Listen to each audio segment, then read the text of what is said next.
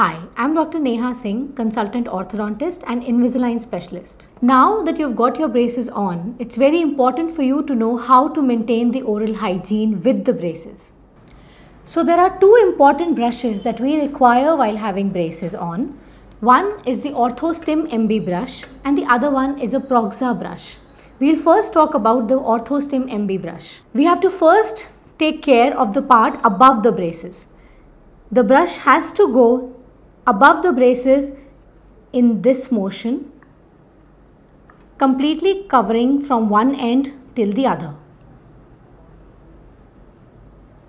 After this, we have to go below the braces, similarly from one end till the other. Make sure the pressure is not too much, it has to be gentle only. After this, slow circular motion above the braces. Then comes the biting surface, forward and backward movement. Inside, we have to go up and down.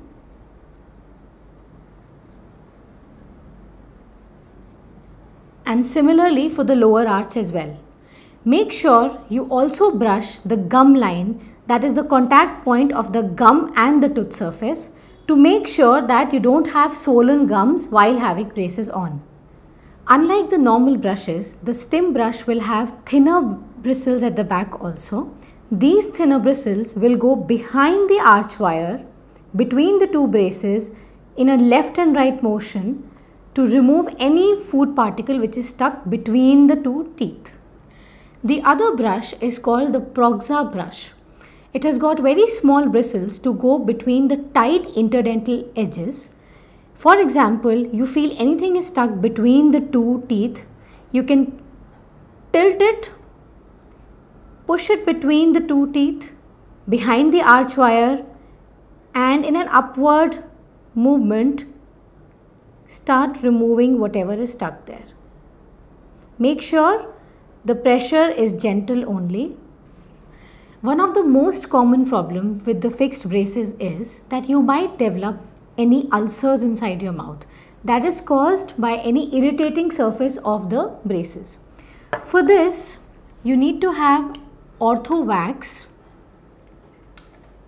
Whichever part you feel is irritating you, pluck out a small portion of this wax, roll it into a dough-like consistency if you find it difficult to mold it, you can also dip it into lukewarm water and then put it. You have to gently put it on the bracket or the part of the arch wire which is hurting you and press it nicely so that the entire bracket is covered with the wax like this. Make sure to remove this wax whenever you are about to eat something and then you can put it back. The OrthoWax is also easily available on Amazon. Another two ways of managing a mouth ulcer are ulcer gels which are easily available at pharmacies.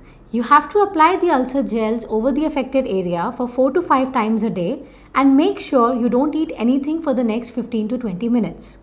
Next is rinsing your mouth with lukewarm water with a pinch of salt into it Similarly for 4 to 5 times a day and not eating anything for the next 15 to 20 minutes.